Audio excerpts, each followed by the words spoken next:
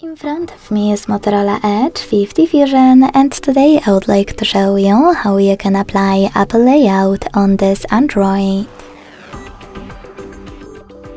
Begin by launching Play Store and tapping on the search bar. Then type in Launcher iOS 18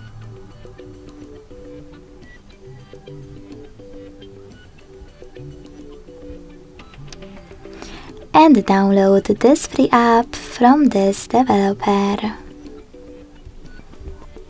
Launcher Studio. When your app is ready, open it and hit get started. Then choose I agree to terms and conditions, tap on continue twice. Select while using the app in location pop-up and allow in all the other ones. Now you can adjust all of those options however you want to or click on set as default at the top right away.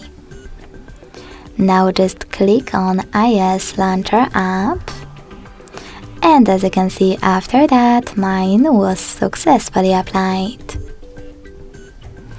If you want to, you can always go back to the same app. Select Set as Default at the top and choose Moto App Launcher to go back to your default one. Thanks so much for watching. If you enjoyed this video, leave a like, comment and subscribe.